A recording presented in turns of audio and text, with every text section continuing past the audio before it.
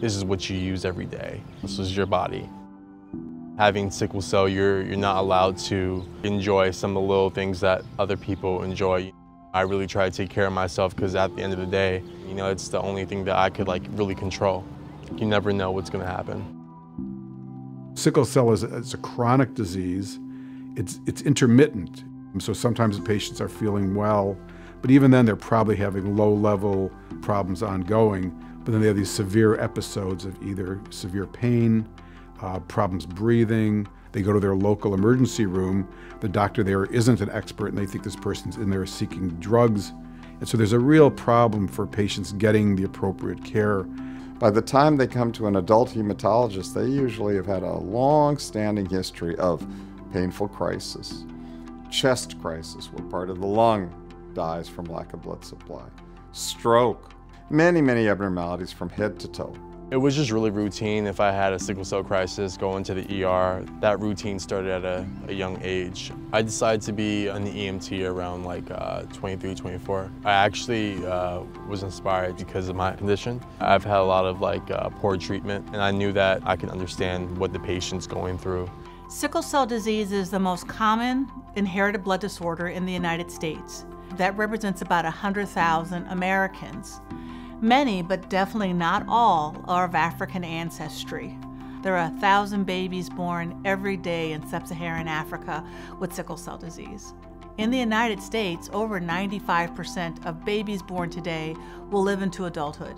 Couldn't be more different in Africa, where 50 to 90% of them will die before their fifth birthday. What has been challenging with sickle cell disease is that the disease is very well understood. A lot of the underpinnings of the disease were described in the 1950s, but that has not led to therapy that has fundamentally changed the course of the disease. Sort of the mainstay treatment for sickle cell has been sort of remedial in a sense, giving um, pain medicines and waiting for the episodes to pass. And so the medical therapy has, has not been great. If you were fortunate enough to have a brother or sister who was a tissue type match it was possible for you to have a bone marrow or stem cell transplant. The challenge is, is that the vast majority of us will not have a brother or sister who matches. Gene therapy holds the promise of the patient being their own donor. Conceptually, we're there now.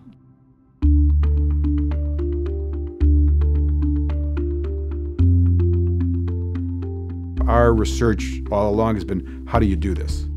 Over the course of my career, I've seen it going from sort of an idea to now a clinical reality for a number of diseases. In some sense, I've, I've kind of been doing the same experiment my whole career. So patients like Evie have to go through a lot to get this treatment. The technical parts of performing the gene therapy involves getting stem cells from the patient and adding the gene. And he's given a medicine that causes the stem cells to leave the bone marrow and go into the bloodstream. And then two days in a row, he sat through a four or five hour procedure where some of his blood is taken out. We purify the stem cells, we put them into culture, and we developed a, a virus, and all of its genetic information is removed. And that's replaced with the human gene we want it to carry. It's capable of taking its genetic information into the stem cell and permanently locking in there. And what we put into the virus for the genetic information is a modified version of the human beta globin gene. So that's the gene that causes sickle. We have a version that actually prevents sickling.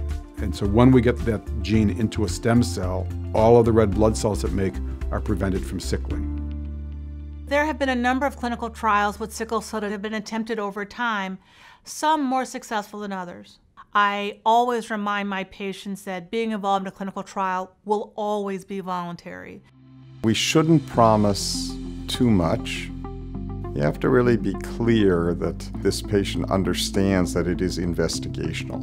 You know, even if it doesn't work for me, I'm hoping that it can be a cure later down the road for millions of people. From the first time I met Evie, I was very struck with what a great guy he is. He's smart, he's committed, he's really learned a lot about his disease and about the treatments, and he's done an amazing job taking care of his health.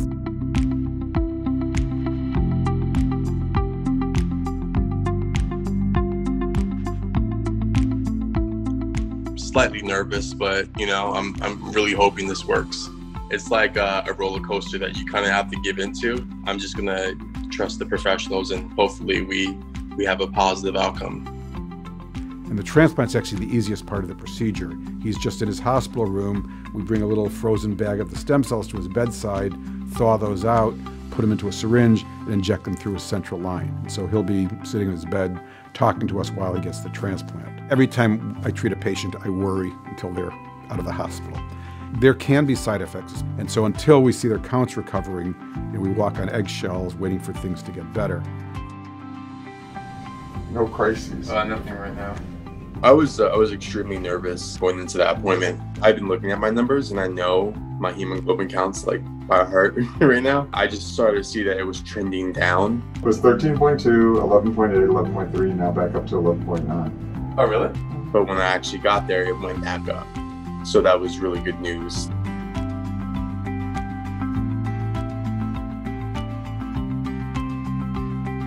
Once we're at six months to a year, and if it looks like it does now, you know, I'll, I'll, feel very comfortable that he's likely to have a permanent benefit. The goal of this treatment is to give him a future, let him plan for college, family, or whatever he wants without worrying about getting hospitalized because of another pain crisis.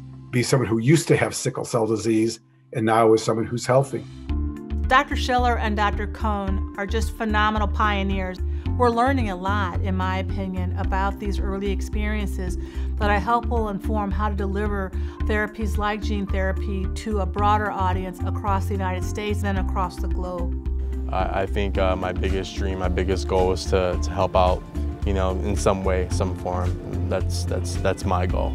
Patients like Evie who volunteer for studies like this, to me, they're, they're heroes. They're like astronauts almost. They're, they're putting themselves out there, you know, both for themselves, but also really for other patients and for mankind.